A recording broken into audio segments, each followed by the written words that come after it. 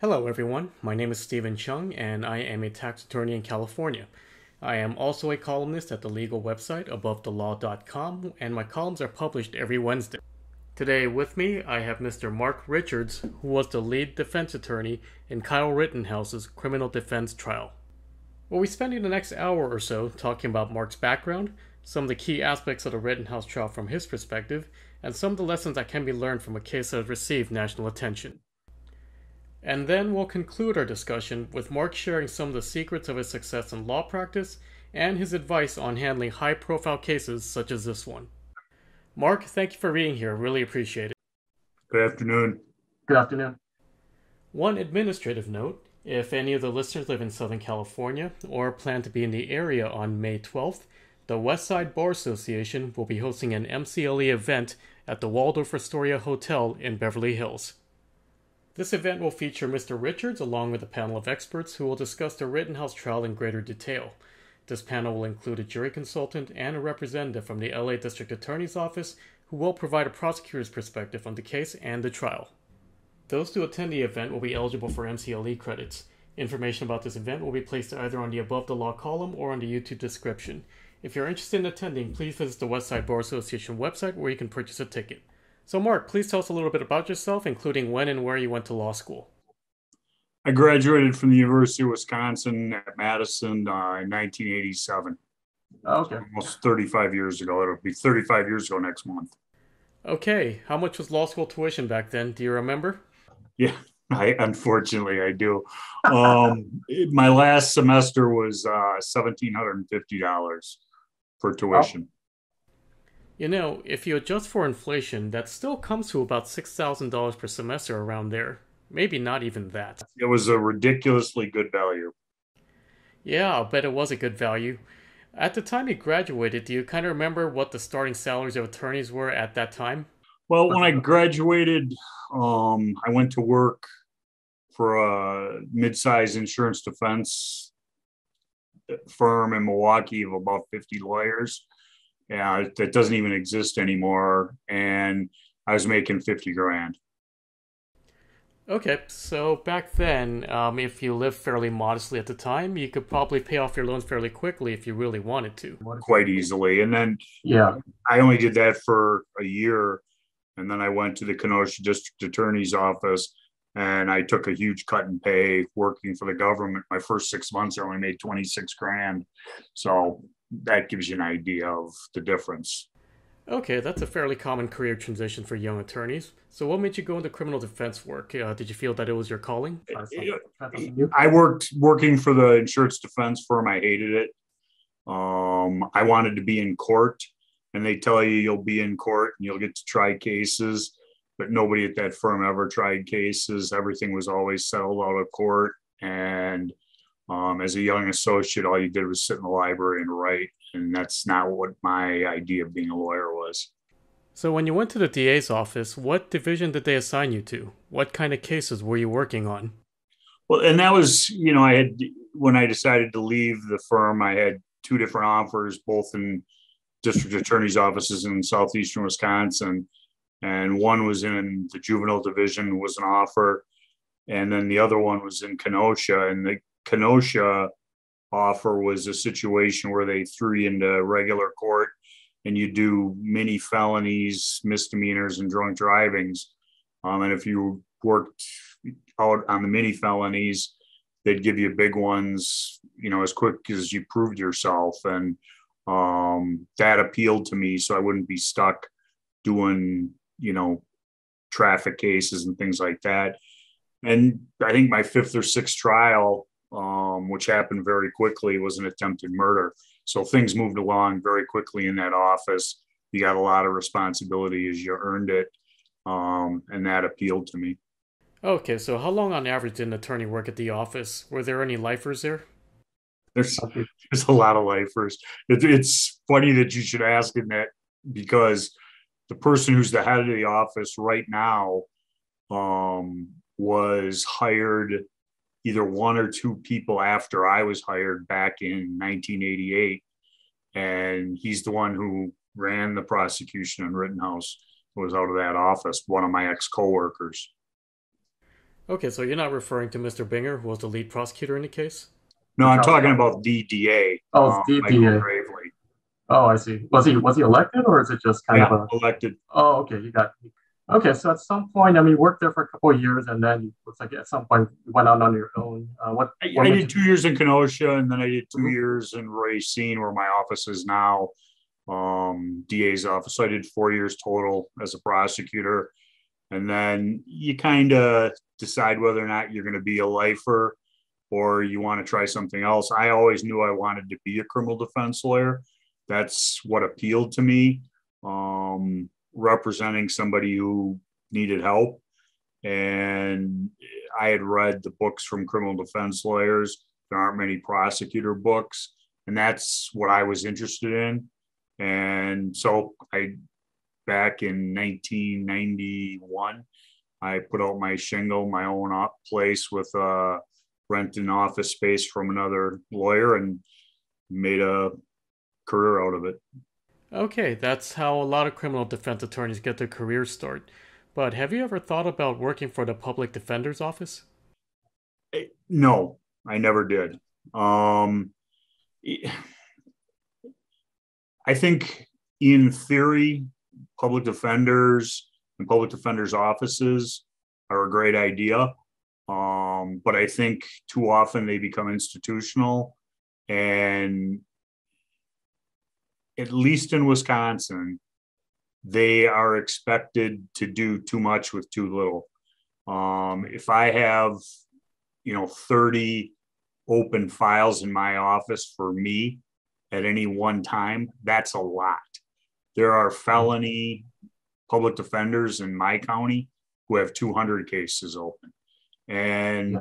there's just no human way that they can do an adequate job of defending that many people at one time you know additionally there's there there's the list, so to speak, where when I started out, I would take um, conflict cases from the public defender's office. Um, it pays a slave wage, but if you're just starting out in practice and you need to fill time, it can work. Um, and I did that for many years. And as my practice grew, obviously I would do less and less of those. And at a certain point, probably 15 years ago, there was a new boss in the public defender's office in my home county. And she called me up and told me, uh, Mark, you have to do more cases. And I said to her, I go, I don't. You're not really my business partner or running my business. I've always had an arrangement with your office where I'd take one or two homicide cases a year where the person hadn't confessed and I would do that case or cases. And she goes, Well, we're not willing to do that anymore. You have to take more cases. And I said, No. She goes, We're going to kick you off the list. I go, Go ahead. I don't care. Um, you know, who are you really hurting? So I, I, I, I think the public defender's office is a great idea in theory, but in action, I don't think it does the job it's supposed to do. Do prosecutors have a large caseload as well, or is it only just the public defenders? I, I, I think pub, I think prosecutors have heavy workloads too, but you have to remember that a prosecutor isn't doesn't have a client, doesn't have, you know, the investigation is already done when it comes to the prosecutor. I mean, there will be things the prosecutor will ask law enforcement to go out and do to follow up and things like that. But when the case comes to their desk, it's all in a nice package, a nice bundle, at least with the prosecution's theory supported. So it to me, it's a much different job than being a criminal defense lawyer. Having done both of them, um, I know prosecutors don't like it when I say it, but it's shooting fish in a barrel. It's not that hard. Uh, you know, you can go to a you can go to a jury trial. You know what the police reports say. You're putting on mostly professional witnesses, and you have to remember the important question of what happened next. So you lived in Kenosha all or most of your life? I, I've lived in southeastern Wisconsin. Um, Okay. You know, most of my life. I went away my first year of law school. I went to Gonzaga in Spokane, Washington. Uh, my two summers of law school, I lived in Chicago. um, worked for firms in Chicago. Um, but I've lived in southeastern Wisconsin most of my life. Oh, uh, since you went to law school in Wisconsin, you didn't have to take the bar exam after you graduated, right? Correct. Still don't have to. Well, it's interesting because a couple of years ago, a couple of states were wanting to follow Wisconsin's example and abolish the bar exam. I think Utah tried it a couple of years ago. They imposed some sort of temporary diploma privilege. No, Utah's talked about it. I have a house in Utah, and you have to take the bar in Utah. Okay. So, I mean, just kind of, I guess before the Jacob Blake shooting and, and the unrest, I mean, nobody knew where Kenosha was. So, can, can you just kind of tell us, like, what the demographic was like, what the what life is like in Kenosha a little bit? Just kind of send the background for what happened. Kenosha is, you know, right in the middle between Chicago, Illinois, and Milwaukee, Wisconsin. Um, it's off of uh, I 94 it was um, used to be known for American Motors and Chrysler automobiles. There was a huge factory um, which closed probably um, in the early 90s. And a lot of businesses went away, like the Midwest, Rust Belt. Um, it's now kind of become, it's on the last stop of the uh, commuter train to Chicago. So a lot of people live and commute down to Chicago. Um, it's it's a nice city. There's it's right on Lake Michigan. Has great beaches, things to do outside, bike trails, and all that kind of stuff. Um, but it's had its share of crime um, going on. Uh, when we talked earlier, you mentioned that Kenosha had a freeway which divided the town, and on one side it was a rural area where mostly conservatives lived, and on the other side it was a urban area where mostly liberals live. What was that like? Yeah, it's um the freeway goes right through the middle of the county, um, and it's basically the city is east of the freeway, the city of Kenosha, urban, regular city, city problems and then west of the freeway is rural. Um, and Kenosha's a very purple county, um, but it's red on the west side and blue on the east side. And when you average those out, it turns purple. But historically, the city is very Democratic and the rural part is very Republican. So, the Jacob Blake matter. So, the shooting happened in 2020, and if I remember correctly, after the investigation, the DA's office declined to prosecute the officers. Is that correct? What, in August? Yes, before the unrest happened in August. Right. It, it had the Jacob Blake happened, um, I think the 22nd, and the Rittenhouse shooting happened late on the evening of the 25th. So you weren't the original attorney that started with this case. I believe uh, Mr. Lin Wood and John Pierce was first assigned to this case. Is that correct? Yeah, I was I was hired um, in the middle of September by Lin Wood and John Pierce at that time to be um, local counsel or second chair, depending on who you talk to. Okay, I see. So at some point while the trial progressed, you stepped up to become the lead attorney. Is that correct? Correct. It, it was um, things had happened during um, preparation for the trial, and um, the defense was kind of it wasn't kind of was um, funded by donations from people, and it got to the point where. John Pierce was going to practice on my license, I was the local counsel, and a determination was made that either he had to do fundraising and he could be on television and say the things that he wanted to say, um, or he could be a member of the defense and practice law, but not be able to do all the extrajudicial statements. And at that point, he chose to uh, go with the fundraising um, and I kind of then stepped into the role of lead counsel. Um, and then a short time after that, um, there was a separation from even that. And John left the defense group, and Lin Wood went off and did the things he did with Donald Trump. So while you were prepping for trial and as the trial progressed, what kind of resources did you have? Um, you definitely had a jury consultant and also some experts as well. So with all of that being there, that must have been quite expensive for the defense team. Well, eh, you know, a case is pretty straightforward. I mean, you can usually read a criminal complaint, which is the bare bones facts of the case, and if you're not an idiot, you can figure out what your defense is going to be. Um, you know, in this case, before I had ever met Kyle, you knew the defense wasn't going to be I didn't do it. Um, he's on video with an AR 15 shooting the gun and people are falling down. So it's not that hard to figure that out. Um, the evidence was going to be videographic. Um, you know, this case was, I can't begin to explain the level of video evidence in this case. At the second shooting scene, when Kyle uh, fired and shot um, and killed Huber and shot Gage Grosskreutz in the arm, there was at least five different cameras rolling at that time. And each of those cameras uh, was from a different perspective. Um, two of them, th- three of them were video, and two of them were still cameras. And some of the still shots were just unbelievable in clarity and quality. Um, so it wasn't much to figure out what happened.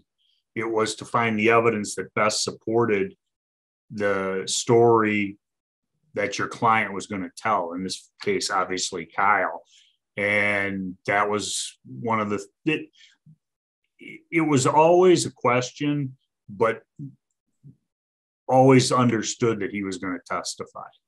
Um, the first meeting I ever had with Kyle Rittenhouse when he was in custody in Illinois was about whether or not he could win the case without testifying.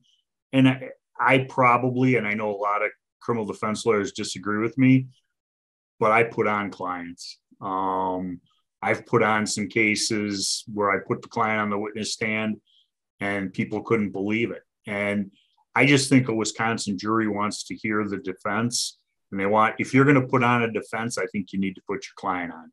And we worked with Kyle and he testified, and I think he did a good job. Okay. Uh, would you have put OJ Simpson on the stand? What's that? Would you have, would you have put OJ Simpson on on the stand? I didn't work with OJ, so I can't answer that. uh, yeah, that would have been interesting if he did go on the stand. Well, uh, just to go back on that subject, I just wanted to ask you whether there are any factors that you see that will be considered deal breakers to say, well, this not guy got going to go on the stand. There's just something wrong about him. Are there any certain things that you look at that are ultimately deal breakers? Well, if, yeah. if you know the client can't handle it, mm-hmm. Then you're just shooting yourself or your client in the head by putting them on. There's some people who aren't intellectually capable enough to take the witness stand and be cross examined by a prosecutor. There are prosecutors who are terrible at cross examining, and you don't have to be that afraid of them. So you have to take all those facts into consideration. Um, you know, I, I did a federal jury trial probably 12, 15 years ago, and it was an armed postal robbery with a hostage. And it, it's too long and convoluted of a story, but in that case, I felt as though the defendant, even though he had three prior felony convictions, needed to tell these 12 people that he didn't do it. And we had a reasonable alternative for somebody who did. And part of the reason the strategy worked is we never let on that he was going to testify. And the prosecutors never prepared a cross examination. So when we put him on first thing in the morning on day two of our defense case, the prosecution wasn't ready. They didn't have a good cross worked up and they couldn't stall long enough to get past lunch. It was over and he escaped unscathed and was acquitted. Um, so there's a lot of determinations to whether or not you put somebody on. Um, in Kyle's case, once we used the mock trial and figured out that he was a net positive in the mock juries, it just solidified our decision. And ultimately, he wanted to testify and tell his story. And I think, you know, the proof's in the pudding. I, I think everybody would agree he did a pretty good job. And I, I've spoke to jurors after of this case, and they thought he did a good job. So um, I think that's one of the reasons he was acquitted. The other reason he was acquitted was the video. Um, it wasn't just Kyle telling the story and left open to interpretation. We had video evidence to support the things he said. Okay, so basically, what you're saying is that uh, there are a variety of factors that go into whether to put the defendant on the witness stand. My question to you is Is this an intuitive decision based on your gut, or do you have like a little checklist that you go through to make that determination? Or you might fold under pressure. It's a, it's a whole list of factors that in every case is different. Um, if if your case is self defense, and your client's state of mind is the issue, then it makes it highly likely it's going to put him on. You're going to need to put him on. If it's a case where everybody agrees what happens and the defendant's state of mind isn't an issue, then maybe you don't have to put him on. Um, does the person have, you know, 23 prior convictions that are going to come in against them? Then it's like, what's the point? The jury's not going to believe him no matter what he says. So there's a whole list of factors. In every case, they're different. You just kind of weigh them. We had the luxury of pre-testing our story, pre-testing our client's story um, in front of a jury, and we showed one of the mock jurors. Um, I, I should say it this way: two mock jurors got to see Kyle testify, and we used one as a control group that didn't see Kyle testify. And the movement towards acquittal or conviction was much greater when Kyle testified with the two panels than the one. So that just made our decision quite easy. Okay, so why don't we turn next to the law that's in question at this trial, which is the self defense privilege. Um, I must admit, I am not too familiar with this defense, uh, but it looks like it says that a person is allowed to use self defense, but not excessively. And you're only allowed to use deadly force as self defense if you have reasonable belief that someone's going to use deadly force on you. Is this correct? I, Wisconsin self defense is an affirmative defense. So the defense has to produce evidence that, if believed, would come within the self-defense um, defense. And was the defendant's are the defendant's beliefs reasonable? And then were his actions in response to those beliefs reasonable? So if somebody comes at you and says, eh, I'm going to punch you, and there's no weapon involved, you can't reach for a baseball bat and hit him in the head. Um, in our case, it was a situation where we had evidence that he was grabbing for the gun. And it was our position that the person, Rosenbaum, who was grabbing for the gun, was going to take Kyle's gun from him and use it against him. And that was based upon prior threats that Rosenbaum had made to Kyle and to other individuals who were with Kyle and were heard and were reported to law enforcement um, the FBI when they were all interviewed separately after the events. Um, so we was was it reasonable for Kyle to shoot him four times? That was ultimately the question of count number one, which to us and I think to the jury was the hardest count for acquittal.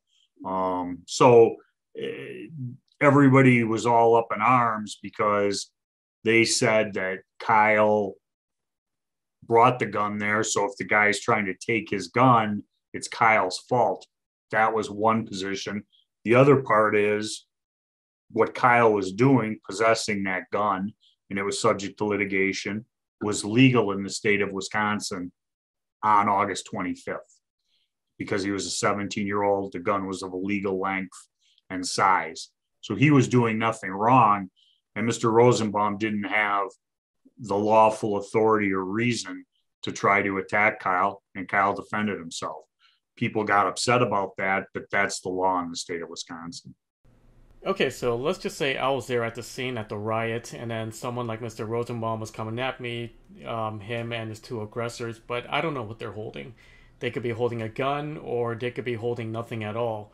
But so long as I subjectively, but had good faith reason to believe that they were about to kill me, do I have that defense? Do I have yes. that privilege that Okay, so I think one of the issues in the case during closing arguments, what you and the prosecutor disagreed on, was the use of that skateboard.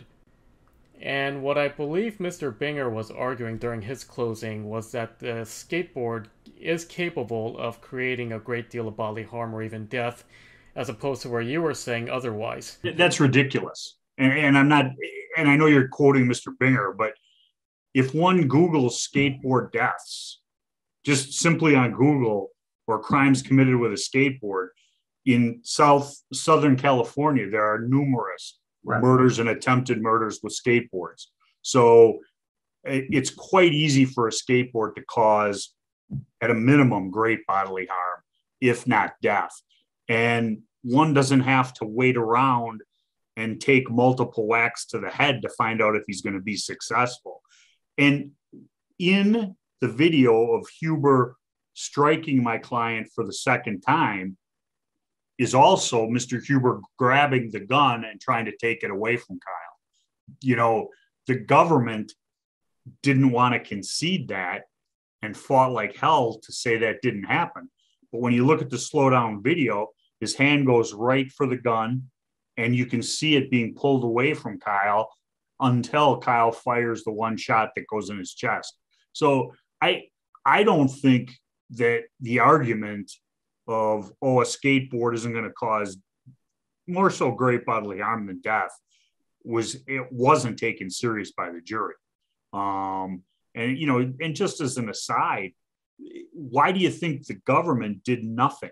And I stress the word nothing to try and re- achieve, uh, not achieve, retrieve that skateboard from Huber's girlfriend because they know how big it was they know how heavy it was, and they didn't want the jury to see it, to feel it, and know how big it was. So that that, that was they hurt themselves making what I would consider a very weak argument. Well, I used to skateboard when I was young, uh, many years ago, more years than I care to admit. Uh, but I do know that skateboards tend to come in all shapes and sizes. Did you get a chance to see the skateboard up close? So this was a big skateboard. We have video of it. Okay. Did you actually see the skateboard? We, we have video. You see it in the video. You see him striking him with it. The skateboard was at least two feet long with the trucks on each end. Right. So an argument could be made that using the trucks can show the intent. Uh, for those who don't know, the trucks are the metal portions of the skateboard. Yeah, well, if you hit them with the trucks hard enough, you'll knock them out. And if you hit them enough times, you'll eventually kill them. Of course, based on that video, we can't really tell what the intent was in that case. You might think that he had intent. What was he hitting them for? I'm sorry? What was he hitting them for? I don't know. I just, I mean, just you, you know, and I understand you're just asking questions, but it's, you know, and that was that was why when Binger made the arguments regarding Rosenbaum, you know, it, why was he going after Kyle Rittenhouse? That you know, we don't have to prove anything. The state has to disprove it. So the reality is, you tell me why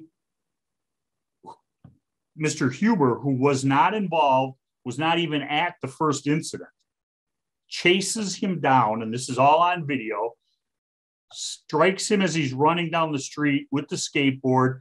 Kyle blocks it with his arm and then he's knocked to the ground by a different gentleman, using that term in the broadest sense. And in comes Hubert to strike him with the skateboard to his head and neck area.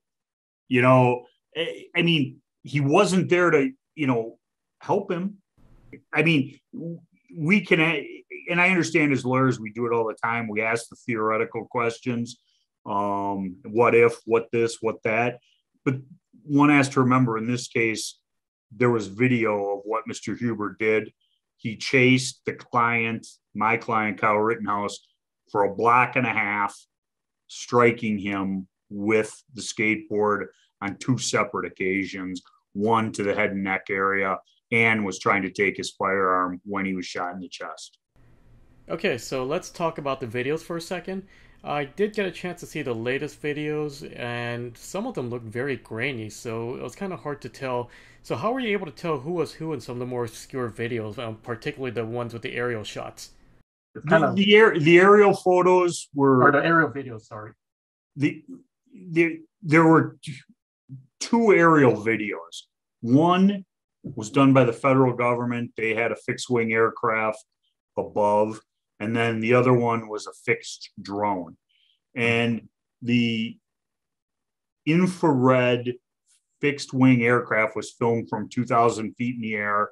Um, that was a subject of a lot of uh, discovery and fighting over. But it, the way you could tell who was who in the infrared was going backwards. So you went from the point of the shots fired at the Rosenbaum thing, and then you kind of reversed slowly and you tracked all the dots and we marked the dots by different colors and things like that, which was very helpful because it showed them Ziminski and Rosenbaum leaving where they were starting a fire right as they saw Kyle come. Rosenbaum hides between the vehicles and then jumps out when he's confronted by Ziminski. Then chases Kyle, runs Kyle down into this area where the cars were, and that's where the shooting occurs. The fixed the, the fixed drone video was the subject of the motions during trial. And that video was initially played, a portion of it was played on Tucker Carlson. And that was right after the shooting. Somebody released that to Tucker Carlson. And that video started right when Mr. Rosenbaum threw what was later determined to be a plastic hospital bag at our client and chased Kyle. It did not have the initial confrontation in it. And we knew about that video from being played on Tucker Carlson. We, through investigation, found out that the only person or entity um, in southeastern Wisconsin that had a permit to fly a fixed wing drone at night was this company out of Lake Geneva called Urban Air. And we tracked down the owner and we went to interview him with two detectives, and he lied to us and denied it was his drone, denied that he had anything to do with it. And we felt as though he was lying, but we couldn't prove it. We did FOIA requests to try and pin it down. The federal government stonewalled us. So we felt as though we're going to be going to trial without this video. We could never authenticate it, never could get the beginning or the end. It was a very brief video thing on Tucker Carlson. On the first Friday of the jury trial, so day five, at the morning break, the prosecutor, Mr. Kraus, came up to us and said, Hey guys, we were just dropped this video anonymously. We have a thumb drive for you. So we took the thumb drive and viewed it. And myself and co-counsel looked at us, looked at it, and it was from before the incident started, but it was the same video that had been shown on Tucker Carlson. It was just longer. And it looked to be about the same quality. And you couldn't see the shooting, you couldn't see the events leading up to it in any clarity. You knew where it happened and you could see a commotion. And the government wanted to put this in, and we hemmed and hawed about it, and we agreed that they could introduce it. And then they wanted to do enhancements just using an iPhone, which is the touch and move. And we objected to that because that's using artificial intelligence. It can't be replicated, and it doesn't mean that what they're showing on that video is actually there or actually happening. And the judge agreed with that. And then they had the Wisconsin Crime Lab do enhancements. And they then, based upon that video, sought a provocation instruction, which can be used to negate somebody's right to self defense. And so on the Friday of the jury instruction conference, the judge goes, I want to see this video. And the defense had purchased a four or 8K television, I can't even remember which, so that we would have clarity with it. And we're showing the judge this video. And he's watching it numerous times over and over and over. And he goes, I can't see anything. And Binger comes around the table and starts watching it. And he looks at Kraus and he says, because we're all right there, he goes, Whose video is this? And Bingers and Kraus says it's the defense video. And he goes, Get the good one, ours. And I go, What? And this is, you know, an informal jury instruction conference, but that's when we became aware that something was wrong. Mm-hmm. And based upon that, we filed a motion at first for mistrial without prejudice and then later mistrial with prejudice because we received information that it had been compressed by, by a proprietary um, program that just happened to be on Jim Kraus's laptop, which was shown during closing arguments when they switched videos. His laptop screen with all the icons was there, and there was the compression program that had uh, and I'm not real good at this stuff, but when they compressed it, it compresses to a proprietary dimension. And so certain amounts of pixels and a very strange um, width and depth combination. And so we knew it had been done by that program, which just happened to be on the prosecutor's computer. The judge took it under advisement and said, I'm not going to rule, but you've clearly made a prima facie showing and if there is a verdict on count one or count two of guilty before that verdict is going to be entered, we're going to have a hearing on this. Um, we gave our closing arguments. The manipulations that the Wisconsin Crime Lab did were a big part of that um, because we believe they had doctored a photo, and that's what our experts said. And it had it had what looked like a firearm in Kyle's arm pointing in Ziminski's direction, but it had a left-handed stance as opposed to a right-handed stance. Which, if anybody knows anything about guns, you're not going to do that. You're you don't unnaturally hoist the gun and put it up into your left shoulder if you're right-handed. So uh, that was subject of a lot of litigation. Uh, the jury heard all of it. We argued it in closing arguments. And after four days, the jury came back not guilty on all counts. Okay, so just real quick, let's turn back to that video. Uh, you mentioned that you had an issue with the pinch and zoom feature of that video. I just wanted to point out something amusing that I noticed during that exchange. Uh, you and the other attorney were mentioning, uh, you mentioned the word al- logarithm. I think you meant the word algorithm. It was definitely an, it's an algorithm. If I yeah, I think, I think you, you, you, said logarithm. I just, okay. It just made me smile. It's okay. But um, you were under the impression. I told you I wasn't that good at this stuff. oh no, it's okay. I just I just hear the word so many times. Logarithms, like it's something I haven't heard since like high school, high school math. So a lot of people are saying is, and I tend to agree with them, is that the pinch and zoom feature actually makes the picture itself bigger, but because it's uh, on a computer screen, the picture looks grainy and a little blurry. But you're claiming that the pinch and zoom feature, if used, it actually alters the photo itself. Is that correct?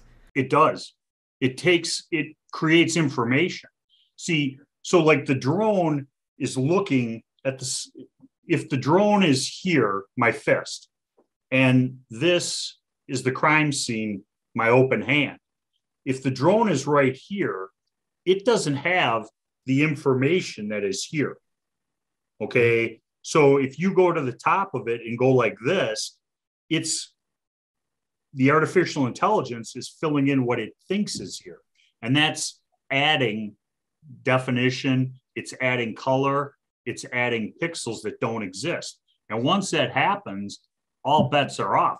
The program that the government did end up using, besides the one that was in your eye in their iPhone, is a program that specifically said on their own website, this is not to be used for forensic purposes. The program it is only to be used for investigatory purposes, and that's because it's not.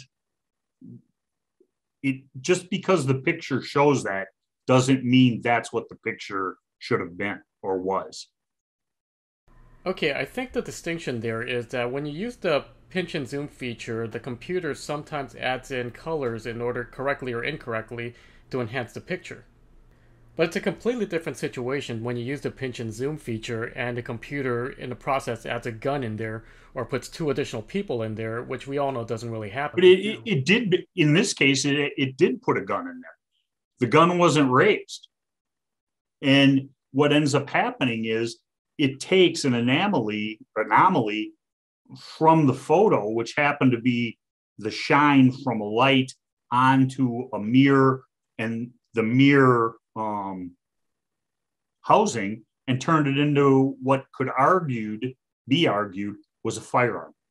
And then even after Kyle supposedly drops the gun, that anomaly anomaly is still there. So he's dropping it, but the gun is still there, which makes no sense. So I mean, video videographic evidence is so incredibly powerful, but it is so subject to being misused. Um, and eh, I would be real honest.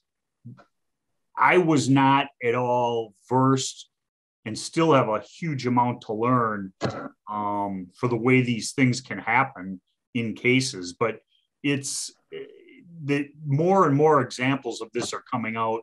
Um, we were just speaking at a um, conference, myself, Corey, and Dr. Black, and they were talking about one of the examples they had in a case that they used where it happened with body camera footage, enhanced body camera footage. So it's it's very, I don't want to say common, but once you start manipulating, changing the perspective, changing the point of view, you're adding and changing that photo artificially. Okay, got it. Well, I don't want to spend much more time on this. I'm sure you'll talk about this in much more detail at the Waldorf Astoria. Otherwise, the organizer is going to kill me for giving too much away. But you've been talking a lot about pinch and zoom and drones and uh, smartphone video cameras, and it's pretty much everywhere these days. So, as a criminal defense attorney, do you feel like you have to have at least a familiarity, or do you have to have a certain level of proficiency in order to best represent your clients in criminal defense cases? you know, I, if if I look at something and I the the examples that I've seen and, and used sometimes successfully, sometimes unsuccessfully, are cleaning up a tape to get some of the uh, um, interference and things like that to try and get a clean copy of either a wire or a Title III wire intercept of someone's phone calls. Um, the in our case with Rittenhouse, there was a video, and in a presentation, I show this where you see Kyle's shadow because it's dark running down the street, but you can't really make it out. And he's being chased. And Kyle says, This is where Huber struck me with the skateboard the first time. And you can hear something on it, but you don't know what it is. And the skateboard goes flying, which you can see. Um, we hired John Black to enhance that video. He did not change the pictures pixels, the color, or the clarity. All he did was move the contrast and the brightness in two different ways. And he does it for the jury right in front of him to show how easy this is. And then you could see Kyle, you could see Huber chasing him, and you could see Huber strike him with the skateboard the first time. So, did we use that? Yes, we did. But it never changed the point of view. It never added anything nor subtracted anything from that video. And our expert was able to testify to that. Whereas when the state's expert testified under oath and was asked those same questions, he could not answer those questions. I think it's still safe to say that the nation is still deeply polarized. I mean, this events occurred before the election, and the trial took place not so long after the election and its aftermath. And even uh, former President Trump and President Biden had something to say about it. So, on that note, um, have you or the previous defense members considered, or maybe even been pressured to, use political ideology as some kind of defense in this case? Um, that was predecessor counsel wanted to argue um, that there had been a general breakdown of civil order in Kenosha. And because of that, under federal law, Kyle was a member of an unregulated militia and his actions were privileged. Um, that was not a good defense. Um, and it, we had a defense that was recognized under law in Wisconsin, self defense. So, why would we go trudging off into left field, hoping and praying um, that this judge would give us some bizarre instruction? So, it, you know, we never tried to make the case political. We wanted to keep the politics of the case as much as possible out of the case. The judge was very much of that same mindset. I'm not going to sit here and tell you or tell anybody, attempt to, that politics does not enter into a case like this. Um, that's picking the jury, being aware of that. Um, and you are sending certain messages in your opening, your closing, you know, that certain words have certain meanings to different people. Um, I think that that was done on both sides. And ultimately, the jury decides based upon their calculation, which we don't know what that is, but we have ideas. Yes, and I think that you and Mr. Binger, to both of your credits, uh, did your best to keep politics out of it. Um, I think the worst of it was when the judge mentioned something about it during cl- jury, jury instructions. He mentioned um, don't pay attention to social media or what the current president of the United States said or what the president before him said. Um, how helpful do you think this was when for the jury? Yeah, I, and I, I think that was helpful. I mean, we we felt strongly if the jury decided the case based upon the evidence that was produced in court, we were going to win. And so I, you know, um, in selecting the juries, the jurors, um, there was, we believe, a juror who wanted to be on the panel, and we believe she did not wish to be on the panel to be a good juror. Um, we had seen her Facebook posts and we saw those and we questioned her on those. And she had taken them down before she was impaneled. And we found that very suspicious. And you know we struck her. And so the politics entered into it. There's no two ways about it but nobody made an overt political reference or charge to the jury. And I think if they had, the judge would have went nuts. Oh, of course, the juror that's motivated to be on this case for whatever reason is not going to say anything that's going to get them disqualified by saying that I'm a racist or I believe in Antifa or I'm a Democrat or Republican. They're going to say whatever it is that's going to get them on the jury. So, with that being said, I mean, what kind of qualities were you looking for as an ideal juror for the defense? Well, we were looking for an older, conservative um, juror, anybody, we wanted people who felt as though things had gotten away from Kenosha. Um, and what I mean by that, that possibly the police didn't do what they were supposed to, the fire department didn't do what they were supposed to. That second night of unrest when everything burned, um, and then Kyle was there, and people like Kyle were there protecting properties they had been called vigilantes, but the police weren't out patrolling. And we wanted people who thought that law and order had broken down and that somebody needed to do something. Um, I, they would technically be Republicans. Um, we were very aware of political affiliation. We were very aware of what groups people belong to, um, what their postings were on Facebook, whether they were pro Black Lives Matter or um, pro uh, law enforcement. Uh, there were certain websites in Kenosha that many people went to who were conservative that we were aware of, and we had people's web history, potential jurors. So we looked for the exact opposite juror that we would usually want as a criminal defense lawyer. We wanted a law and order, more conservative, more rural jury than we would usually um, seek as defense lawyers. And I think that was one of the biggest mistakes that the prosecution in this case made. They picked the same jurors that they historically pick. And this wasn't a case of that. So we were both striking the same types of people younger, liberal, um, more urban. And I think that helped us, meaning the defense. Okay, well, that strategy definitely worked for you.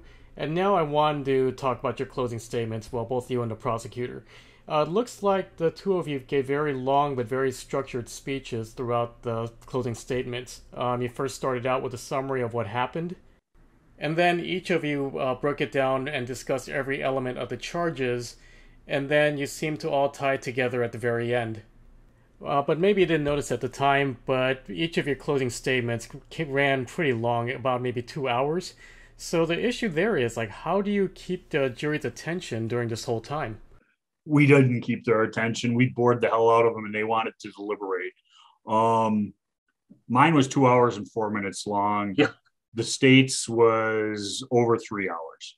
I believe it was three hours and twenty minutes. Yeah, I, I, I didn't see all. I, I, Not that I was keeping track. Uh, you know, I mean, think about that. We're we start first thing in the morning. The jury's instructed. Binger then talks for two hours. We take a short recess. I talk for two more hours. And then Jim Kraus talked for over an hour. And you, you could tell that the jury just wanted this done with. And, yeah. you know, they had their minds made up. We didn't know how they had them made up. But you know, we as lawyers want to think what we have to say is so important. Um, what we have to say in our opening, I believe, is a hundred times more important than what we have to say in our closings. By closing, especially in a two-week jury trial, the jurors have a general sense of what happened. They know what they want to do, and we're not going to change too many minds. Um, I didn't honestly believe I was going to talk two hours I had kind of worked through my closing and it came in right about an hour and 35 hour and 40 minutes um, and it ended up we added a couple of things during my closing because of things they had said in their closing and i only have one opportunity to speak so eh, eh, you know it is what it is i i talked to the jurors after and they they said um, why did you guys talk so long? So I, I mean, you know, because we're lawyers and we think we have to. How's that for an answer? Well, we lawyers are led to believe that everything we say during closing statements is so important that the jury has to not only hear it, but they have to remember it. But after 30 minutes of hearing all of this, and but these days with social media and all, our attention span has been reduced even shorter to a few minutes. So with that being said, it's just kind of really hard these days to keep and maintain a jury's attention span. So what people have to rely on are zingers, that one-liners or zingers that people need to remember. And I don't know if you guys really had that, did you? That kind of, that, ah, that focus, line. focus, out of focus. Oh, that's right. I oh. I, I can't believe you didn't remember. No, I saw. Oh, I no, no. I do. I did. Remember, I should have. I should have brought that up. Okay, hocus pocus. There was no focus. Okay, I do remember that line. I forgot. Okay, but you had that singer there it's good to have a one liner, but still, and I mentioned closing statements because that is what the jury hears last before they start deliberating. So You- I, I you, and this is yeah. I'm not trying to justify what I said or didn't say, but this is the mindset, and I think, and I think it's a valid mindset. As a criminal defense lawyer, you have a client who is on trial for his life. If we win, he goes home. Mhm. If we lose, he goes to prison where he will die. Yeah. And if you put it in that stark of terms, and in this trial, it was that stark. Um, I can justify talking for two hours. And, you know, I could have got up there and said, okay, ladies and gentlemen, you have your mind made up. Good luck, go do it. And Yeah. if I win, that's great. If I lose, I'm going to answer for that for the rest of my life. Yeah. And you can't do that. I mean, if I had an associate who wanted to pull something like that, I'd kill him or her. You know, so i- i- on the outside chance that one of those jurors is sitting on the fence and you can give them one little kernel of truth that might make them fall your way, you got to try. Oh no, definitely I agree with you that you should try, but I think well, let me just put it this way. When you were giving your closing statement, were you keeping an eye on the jury to make sure that they weren't bored or sleepy? I knew they were bored and I knew they were sleepy because I was bored and I was sleepy. I, I, I mean, you know, you know it when and after two weeks of jury trial, um, you're exhausted, and all you know. I asked to have a tighter limit. I wanted an hour and a half for both sides, you know, and let's make this focused and to the point. And the judge was like, you know, I don't want to do that. Um, it's such a big case. It's so important, you know, and he kind of said the outer limit's three hours and they even went over that. Um, so I tried, um, I lost, and that was probably the least important thing I lost. So, you know, such is life. Well, you gave a very effective closing statement, and as a result, you got a defense verdict. But uh, now that this case is over, is there any lessons that you learned from this case that particularly stands out in your mind? I mean, it's never as easy as you think it's going to be. Um, and and I never think a case is going to be easy, but I think I, I we were prepared. We thought we were ready, and we were prepared and ready. But there's always surprises, and I think good trial lawyers can deal with those surprises and not let them knock you completely off track. That's important. Um, I think in this case, not dealing with the media, and I don't mean that as a negative towards the media, but I did not speak to the media before the verdict. Um, we tried the case in the courtroom, and I think that cut down on a lot of distractions. Um, and it kept us focused. I wasn't running out of the courtroom every day after court and talking to the media. I didn't think it was appropriate. Um, we would deal with it at a later date, one way or the other, positive or negative. Um, and it was hard. Um, the the having a co-counsel like Corey, um, who I've worked with on a lot of different cases over the years, um, was a pleasure.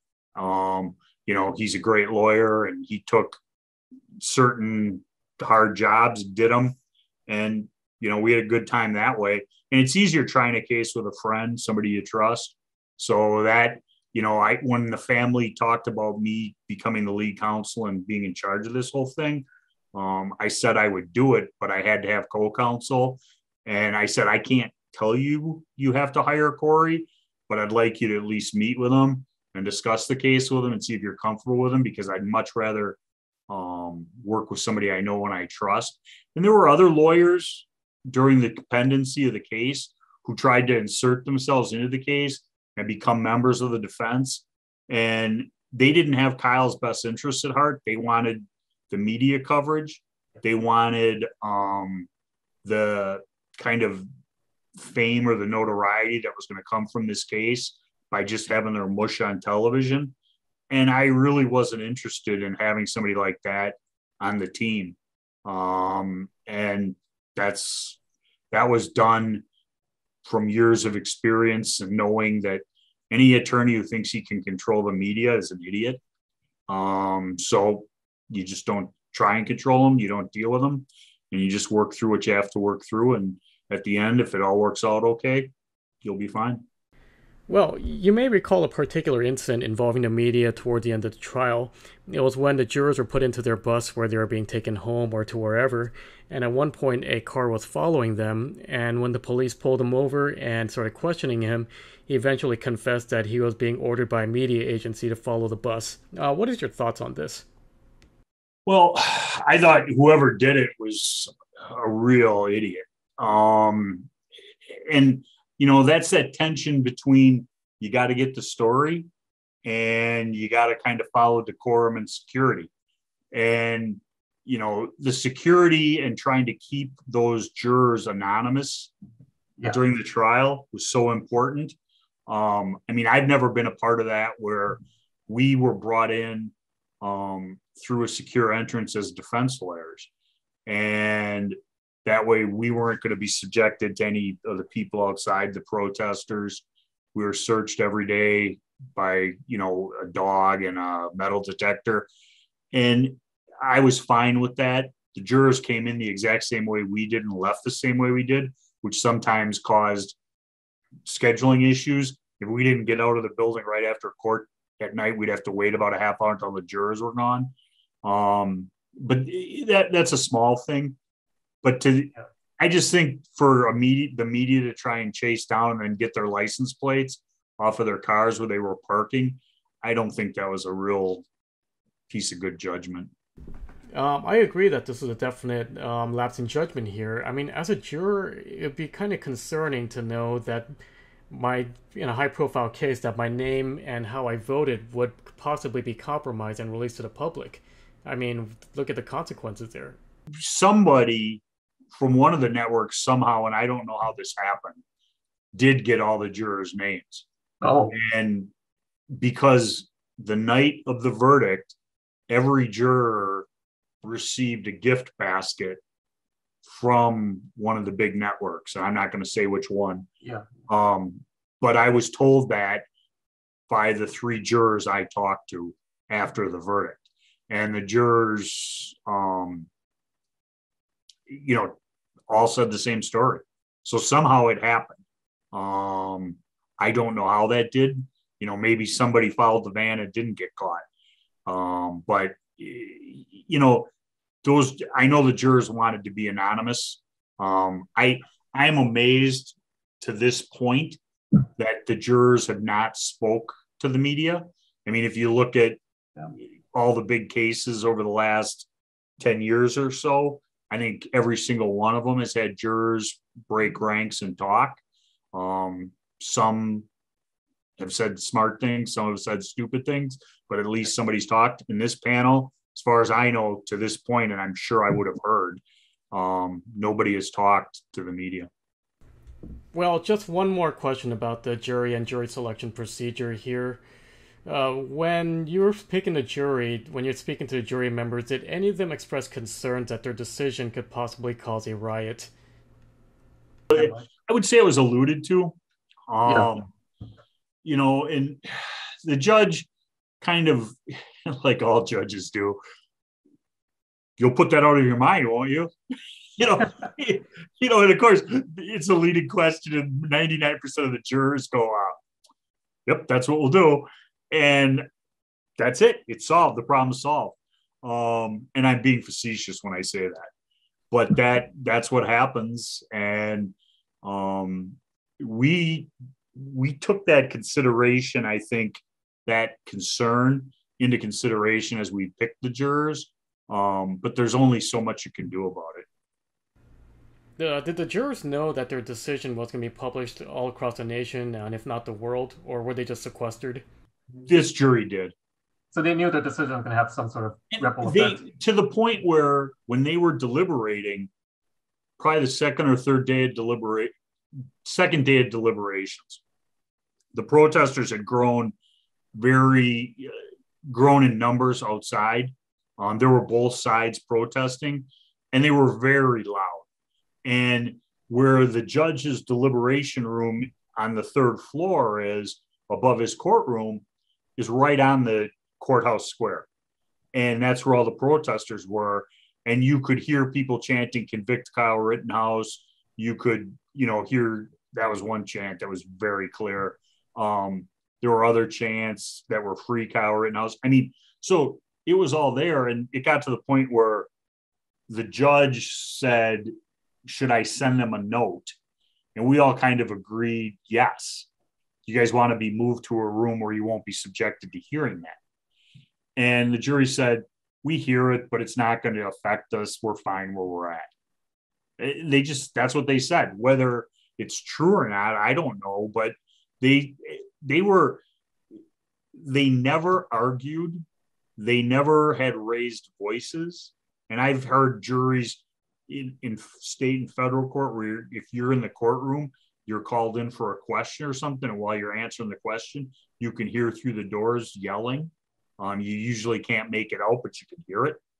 And this jury had none of that. Um, they they were very um, let everybody talk.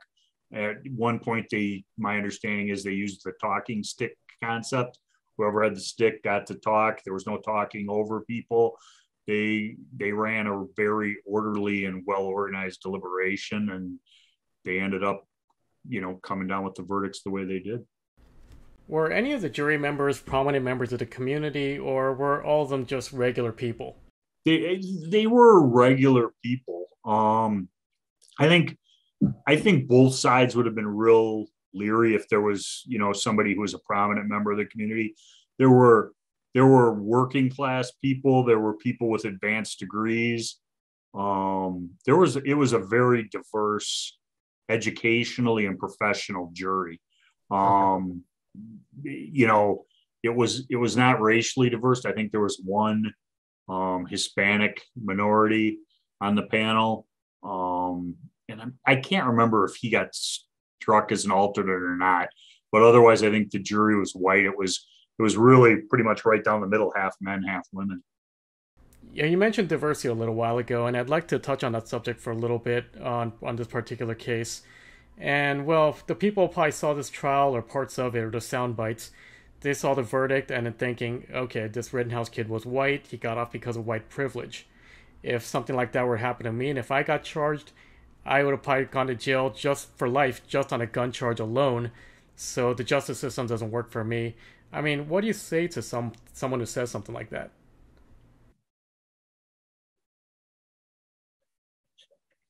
Without sounding too cynical or too jaded or too stupid, um, in criminal defense, money matters. Um, anybody who says it doesn't is stupid. Um, going back to where this interview started about public defenders, if I can devote six or eight weeks of my law practice full time to one case, um, that person is going to have a much better defense if I'm spreading myself out over a hundred different cases. So that's the first issue. Um, and money makes a difference. To me, this case isn't about white or black. If I had a black defendant sitting in front of me or next to me at this trial and the facts were the same, I believe he would have been acquitted. Um, but that's if the defense funds were the same. And, you know, if they're paying Corey and I to represent him, we have the money to hire the experts. There's another case in Kenosha County that's gotten a huge amount of press. I think it's very interested, uh, interesting. It's also crowd funded, and she's the African American female who killed arguably her pimp, Chrystul Kizer. Case is up in the Wisconsin Supreme Court right now on uh, some pretrial motions that the court's gotten involved in, but that's being funded um, by private donations and foundations. Um, she's an African American. I think it'll be very interesting to see how that happens. But in that case, if she wins, and I think she has a very good chance of prevailing, um, the most important thing is going to be the fact that people stepped forward and paid substantial amounts of money to get her into a defendable position. You know, how many cases go pre-trial to the Wisconsin Supreme Court? Not many. Uh, yes, money does play a big role in a criminal defense case, so I'd like to see if you can think about the situation. Let's just say that the trial happened a couple years ago, um, before Trump was elected, and got the, didn't get the national attention that it did. Uh, you did have some adequate funding for this case, but nowhere near what you got for this particular trial. Is there anything, any expenses that you would have cut back on without compromising the case? Well, yeah, I could say I could say now that I mean we had we had a forensic pathologist um, on retainer who we were flying in to testify for the defense case. Once their forensic pathologist, Dr. Kelley, testified, it went as good as we could have ever imagined. And trying to keep the jury, you know, attention. Why should we put on another doctor for the defense who's going to say the exact same thing? So we cut him. Um, you know, there was another doctor, not doctor, but a ballistics expert that we engaged, and we paid him money, and he ended up not coming through. And when I mean not coming through, we had to have our opinions filed by a certain date, and he never produced an admissible opinion. And so that was all wasted money. Um, hindsight being what it is, I would love to not have hired him. Um, but can't take it back. Um, so eh, if we had, we spent huge amounts of money on investigation, every name in every police report was tracked down and talked to if they would talk to us. Um, I flew out to New York City to meet with a witness and his lawyer um, with my investigator. That was a great cost. It was invaluable towards the defense. So I would I would have a hard time saying where I would cut because I don't think it was an extravagant defense under the facts, but it cost a lot of money. I mean, would you say you spend a substantial amount of money on on video equipment or just like video forensics? I mean, that's kind of the main issue. One of the main issues here. We get, you know, we got video um, open source off from online. We had people send it to us unsolicited. We solicited it from certain people um, that we knew were out there and had it because they had posted it. Um, so that was that was one of those trying to get as much as possible because you don't know what's going to be the one that kind of brings it all together, so to speak. Um, and then it was just a time, the amount of time to watch it and to kind of put the pieces together because they're all these disparate sources. Um, that was hard. Uh, and that took a lot of time, but it had to be done for a successful defense. We knew everything that Kyle did that night, except maybe four minutes that wasn't on film. you got down to the minutes. Okay, gotcha. We, we did.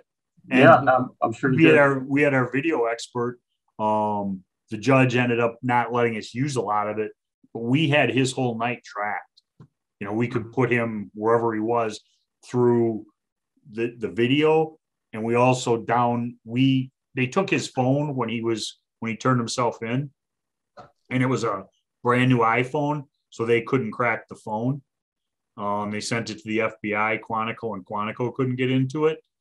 And we made a determination that we wanted what was in that phone. We thought it was more helpful to us than it would be to the state.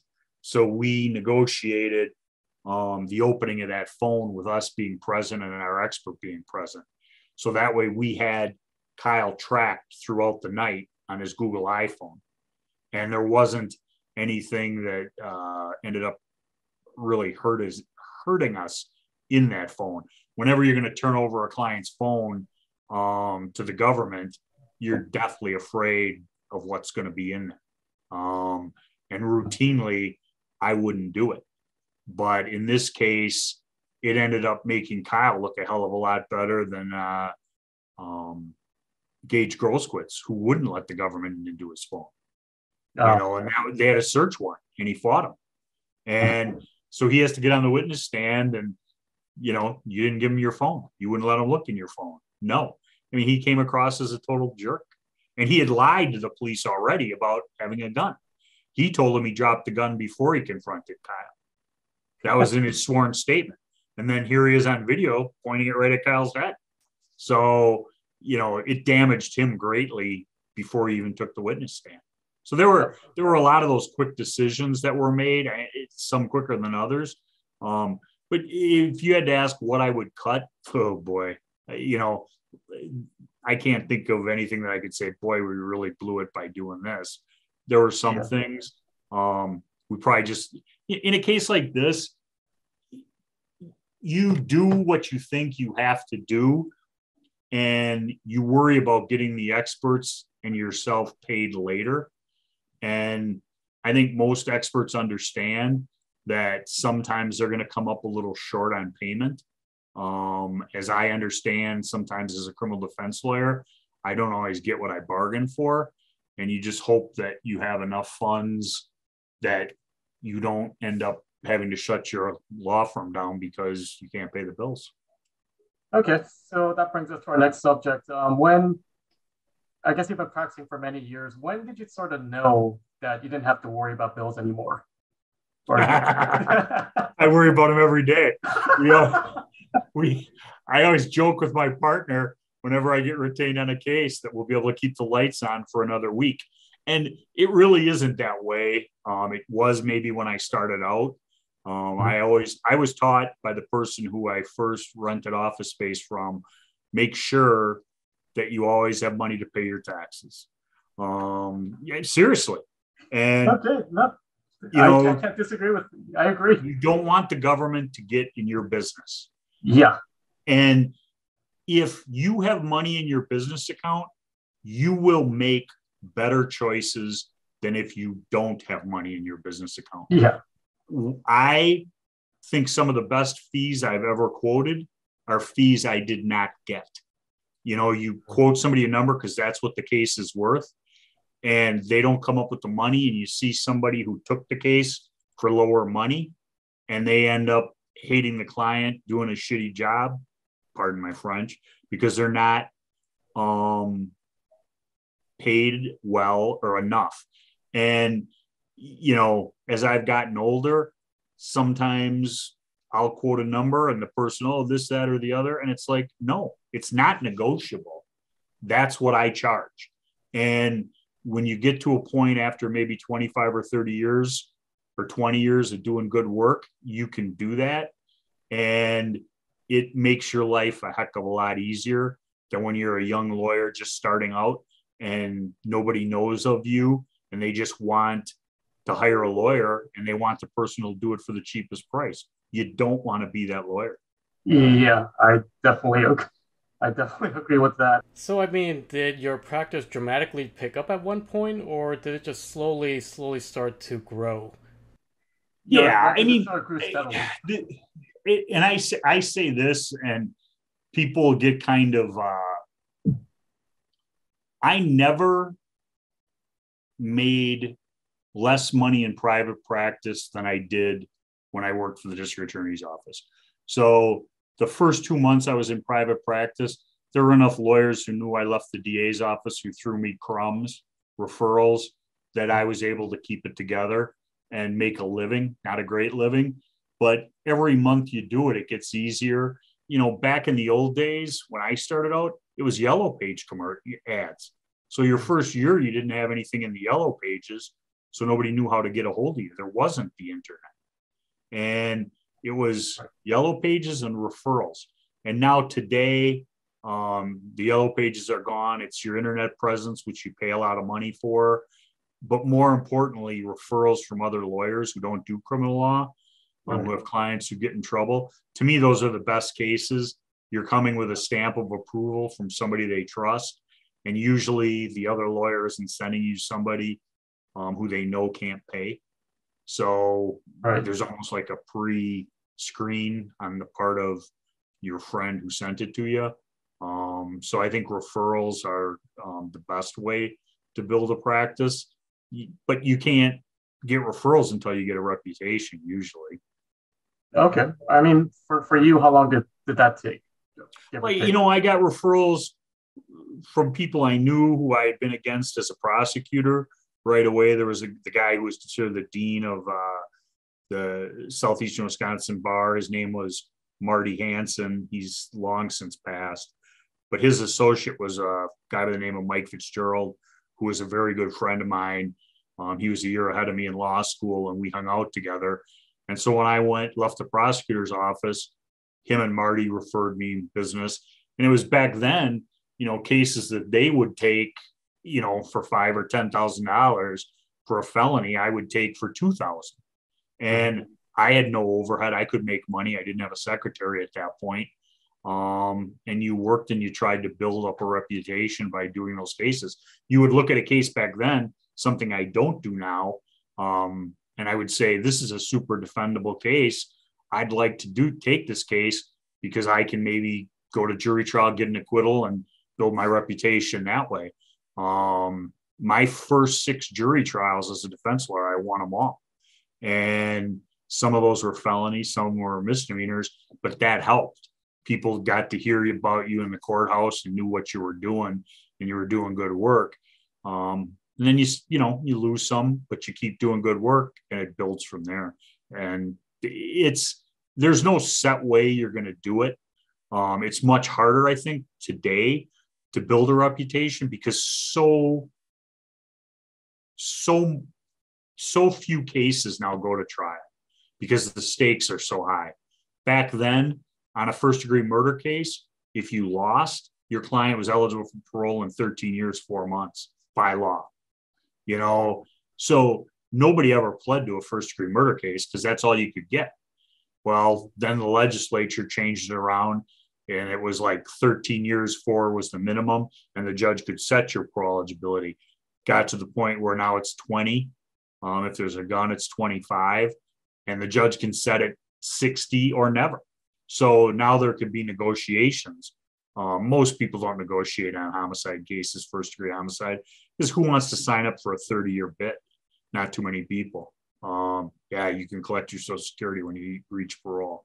So it's it's harder to get as many trials. And my first um, four years as a prosecutor, four, first four years of practice, I had like 80 jury trials. You know, now nobody does that anymore.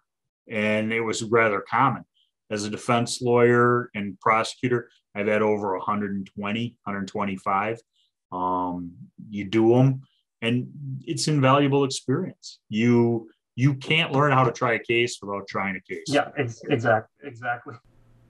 So, do you plan to write a book about this at some point? You know, people have talked to me about writing a book, and I I, if if I could write well, I'd probably do it. I'm not that. I that if I had to say in my legal practice, my weakness, I pay people to write for me. I understand the concepts, the motions. I hate writing.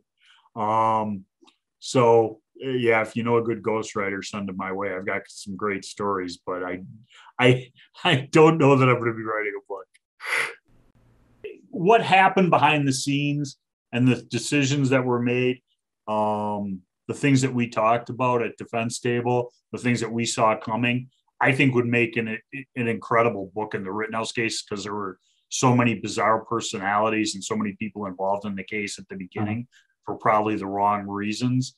Um, it, it, was entertaining. Um, it was a pleasure working with the people um, that we were that were there at the end. Um, our investigators, our experts, Joe Ellen. Um, you know, Corey's wife was very um, understanding, letting him come down here and live for, you know, over a month and a half. Um, and you know, I, I I enjoyed it in hindsight, um, but I'm not suggesting I necessarily want to do it again. Well, okay, so looks like our 90 minutes is up, and I'm sure you have better things to do with your time. So I just want to thank you for spending the time with me and answering some of my questions, and I'm sure everyone at Above the Law will feel the same way. If you'd like to hear more from Mark Richards, and if you happen to live in the Los Angeles area, the Westside Bar Association will be hosting an event featuring Mr. Richards on May 12th. He, along with a panel of experts, will discuss the Rittenhouse case in greater detail. You can purchase tickets at the Westside Bar Association website, which will be displayed at the Above the Law column or in the YouTube description.